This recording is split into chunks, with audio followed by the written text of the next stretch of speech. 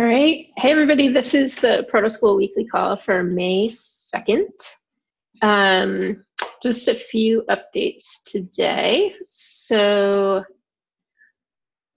on the content development front, um, Eric Rani went through the decentralized data structures tutorial and proposed a bunch of wording so changes to make things a little bit more accessible. And I went through and did some tweaking. So that has been merged. You can find that in the notes.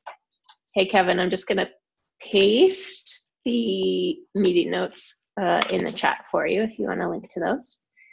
Um, and then I'm still working on the MFS tutorial to teach the, the mutable file system API, but making a lot of progress there. And there's a link in the notes to a new lesson order that Ollie and I worked out. Um, a new kind of end-to-end proposal that can teach more things. Hey, Kevin has a face, very exciting. Hi. Um, and then the work in progress PR is there, so feedback is always welcome.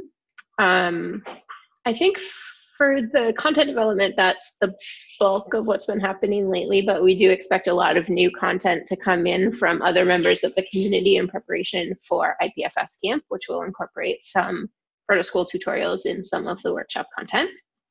Um, and then in terms of learner experience, so like UX improvements, do you have anything you want to share, Diogo?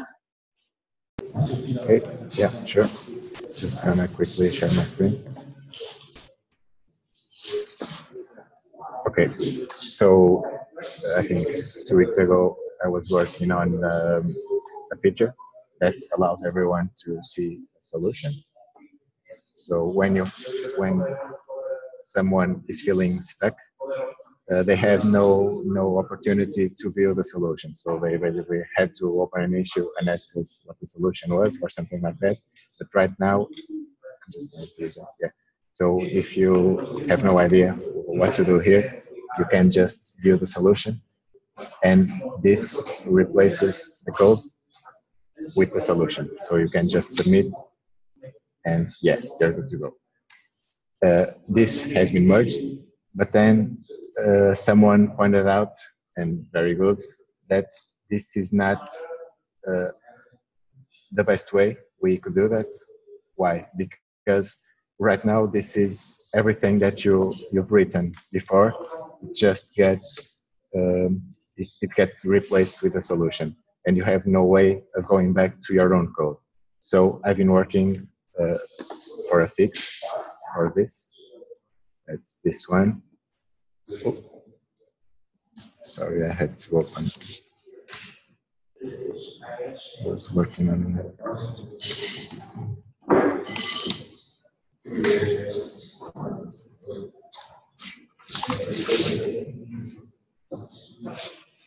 just starting the, the server.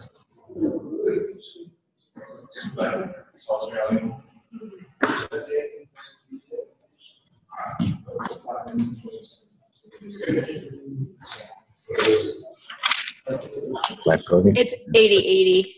No, not 8081. Nope. No, but I, I have another Oh, you're fancy. Yeah, I have a lot of okay. stuff going on. So, so the way uh, I try to fix that is, getting, sorry, my network is a bit slow. So right now you can just uh, input your own code. And now instead of having the solution here, I just aligned everything to the left. You can reset code as always. But when you want to see the solution, basically we have something like an accordion. You say view solution, and it opens up a new terminal that's read-only. You can't you can't edit this, but you can uh, copy and paste everything if you want. So you're free to do whatever. But the main reason for this is, like I was saying, you don't lose your own code. So if you're feeling stuck and you have something written here, you can compare your code to the actual solution. So yeah, this is the main thing that I was uh, working on. I get got some feedback from the design call, and this is what we came up with. Yeah, if you guys have any suggestions, feel free to to say them. I think that's very cool. and this is also a great example of getting feedback from real users because we we actually the first implementation of the solution i flagged to the team in our seattle chapter because i knew they were going to be hosting their first event. I'm like okay this is new and this is new. Make sure you know about it before you start. And then they they had their um, participants submit a lot of feedback during the workshop and this is actually a piece of feedback that we got from one of the organizers of that chapter that led to this improvement. So it's really nice to see feedback coming in from those live events as well yeah it's awesome getting feedback from real users it's yeah always good yeah it's better from my own feedback because I, I build things so i'm always yeah a bit stuck yeah, and that the button at the bottom, which I think was literally the first thing I built when I started here, it's getting plenty of use. So it's great. Cool. Um, anything else in terms of UX improvements, learner experience that people wanted to talk about? Okay, so I will move on to community growth. So we have our first chapter in Africa. The Nairobi site is now actually live on our website. It's very exciting. Um, and the Seattle chapter had its first event, which was a really good example, I think, of the way we intend for live events to happen. You know, working through the tutorials. Based on the pictures, it looks like they had also built um, like a slide deck to kind of introduce Proto School first, but that it looks like they did a, an awesome job with that model and they're planning on giving a little write up to the other organizers to share what worked well for them. Um, and like i said i love that they took the opportunity to encourage attendees to share feedback and they noticed some themes on you know lessons that people were getting stuck on and clues they need. So we still have a few issues in the queue from that event that we can go back through and make some some little tweaks to wording within lessons to make things more clear. Um, anything exciting happening with the community in Hong Kong, Kevin, that you want to talk about? Yeah, uh, uh, sorry for I haven't shown up for a while because I've been very busy. No uh, worries. Yeah, yeah, and then uh, we actually host our first uh Proto School introduction event like two months ago. Cool. And then it was like really, really successful. And then uh, I actually uh, draw a lot of attention from the public. And then uh, after that, I actually had my first uh, IPFS workshop at the uh, local university. Uh, the student they have uh, no technical background, but then uh, we introduced like IPFS 101 workshop to them, and then I think it was very successful as well. And yeah, I think like with the help of the Proto School, like people are really interested uh, in into like IPFS and the and the uh, web uh, development. Cool. And I, I will share more uh, what I have done uh, uh, later on because like I have a lot of things going on. And, okay, and then sure. and then and then as well uh, we will have our first uh, Sumchun uh, Proto School meetup uh, next week. And uh, and uh, as well as uh, because like I'm like the first one to organize the like help to organize the Proto School in Asia. So like uh, the organizer in uh, Beijing, like Dai Jialo, and uh, the one I mentioned in my in my uh, uh, presentation before during the weekly call, and the other one uh, also the organizer from Taipei, Taiwan. Like they are all uh, like uh, my friends. I, I mean like we know each other, and then they are cool. very they have very strong technical background. So they have like uh, a blockchain uh, company running, uh, uh, uh, like very successful blockchain company running. So they are like very good organizer, very po- good potential organizer as well. So like cool. uh, Taipei, I think they will have their first event in the end of May. And then they actually invited me uh, to go as well to share because because I've been sharing what I have done with uh, most of them to like uh, see what we can do better for the for cool. the production. Yeah and then oh and another good news is like i got the sweat and then this is really this is really cool. I, I just got it today from the ipfs event. They have the, are those pins? Yeah the pins. It's really cool. I didn't expect this. I was just expecting the t-shirt. Nice. and then yeah this is really cool. Like from good, the good job uh, wearing your swag for the call yeah, this is this is like a promotion for the team, right? As well, nice. it's really cool. Like uh, you could just go to Twitter, the IPFS uh, event, and then you share, and then you can get all those. I was like so excited today. Yeah, I think they're doing it for people who signed up for IPFS camp, right? Yeah, Who applied for camp. yeah like yeah like but also they have to uh uh dm the ipfs Yeah. grant yeah and and so i think only a few people did that like like i was one of those and then uh uh, I, I I heard a few of them. Also, the Beijing organized. A few of them got the uh, ticket already to the IPFS camp. Are you still waiting to hear back? Yeah, I'm still waiting because, like, Yeah. like you know, I applied That's okay, late. yeah, They're doing I- it in batches. So they Yeah, had like until a certain date, all those applications, and then reviewing and then doing another batch. So yeah, yeah, hopefully I will like wear all this and then see you guys in the camp. Yeah, hopefully, yes. Yeah. So yeah, I, I, we, I will- like I, I don't even officially have approval yet. oh really? So I got it. Also even had to apply. So, yeah. Oh, I'm so fortunate. And I then would be uh, surprised But I if Jerry do- wasn't there. it's really good. It's really good. Like really good. Yeah. Like because uh, and then I've been so busy lately because uh, I have some kind of uh, investor. They want to start investing like some project about IPFS as well. Mhm. So uh, recently they want to like uh like start a project like doing something that related to IPFS, like Mhm. maybe you know doing some charity uh stuff or or some more like I've been so busy like dealing with those Yeah. uh like people. So so hopefully like I can bring some like exciting project uh, in the camp as well. Yeah. Mhm. So uh yeah, that's all I think update from from me Cool. from this. Yeah. So I have a quick question for you. Any are, for any of those events that you've been running, have you been using the the proto school content as your content, or has it been more like speakers about IPFS or other learning content about IPFS so far? I have uh like I have showed them like all the content, but then I think like those events like like especially like in Hong Kong or in China, like uh I think those people are not like mostly technical wise Oh. focused. okay. So uh I have been introduced uh, them like uh the one that we did the meetup and uh, I just introduced those all the contents to them, and then uh, uh, inform them that they can do uh, like uh, all self learning by themselves.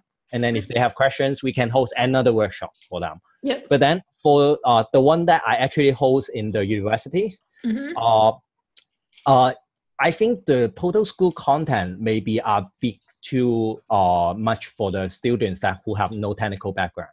So like instead, what we do is like we introduce the IPFS workshop, like using our way to introduce them what is IPFS, like uh, how is IPFS working, and then uh, uh, actually show them how we uh, uh, upload some content to the IPFS, uh, like all those steps. Usually, actually, all those steps are from the are from the IPFS official as well, the official website.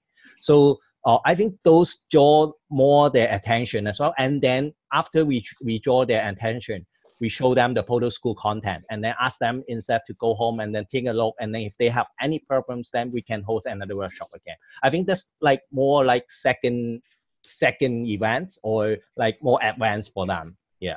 But then of course uh, uh, for the uh, technical background people that uh, like in the very initial stage we can use the content. But uh, i think it's very hard in asia to uh, host some very technical event uh, in the very initial stage. That's why like in the first time we do it's like drawing people attention and then we, when we get it more more people and then we can host another technical workshop. Yeah that's how Okay. we do it. Yeah. So if you if you have if there's any of the like the kind of concepts that you've been introducing to non-technical users that you think might fit within Proto School and be useful. So for example, there is a format of lesson that is just text. yeah You know, you're pro- you're progressing through, you're getting it from Proto School. But if there's something that would fit that format, hopefully by the end of the quarter we'll also have like a multiple choice as an option for a format for lessons so that could still be something where you're reading and just confirming that you've understood so if you have suggestions for some kind of beginner content that's friendly to non-technical people that we can get into proto school that's an option so feel free to put in a new tutorial issue if you have any ideas on that front yeah um, okay. Another thing that we're thinking about doing, based on some feedback we got from multiple people, is the decentralized data structures tutorial that we built um, to be that text only one. It feels like it's really kind of in two separate veins. So there's part of it that's about like normal web versus decentralized web. location addressing versus content addressing, basic CID, what it is, you know, it's actually related to the content. And then it switches into like Merkle trees and DAG, which feels like a whole extra level of complicated and technical. Um, so we're talking about splitting that lesson into two and presenting the first part I described as really like introductory concepts and presenting the second part as like going with going as like a predecessor to the DAG lessons, the two other main things that are on the site right now um, would build off of that. Whereas the new MFS tutorial, you wouldn't really need to understand the Merkle DAG stuff to, to dig into it. So that's something that we're thinking about splitting apart to make the content better. So Okay, cool. Very Uh, cool. Yeah. Yeah. So let's see what else we have here. That's it for notes we jotted down ahead of time. I'm, like you said, I'm very hopeful. We're still, the review committee is going through applications for IPFS camp, but I'm hoping that we'll have at least a little group of people who are running chapters and maybe have some time for some discussion about what's working well for people and what we could improve. Um, potentially spend some time teaching people how to build tutorials. Diogo and I, as we've been, as we, as he's been adding more UX features to the site, we're documenting how to use them. Some of them are like optional things you can do and making sure those instructions get into the README. So we're trying to make it easier for people to build lessons. And that's something that we might be able to talk about, might find a format to talk about at camp. Um, yeah, anything, Michael, did you have anything you wanted to bring up today? Nope, nope. Just uh, popping in to say hi and see, hear how things are going. Cool. And Kevin, was there anything else you wanted to talk about that you haven't gotten to? Uh, not much for that. Okay. Sounds like things are exciting over there. Got a lot going on as usual. Um, cool.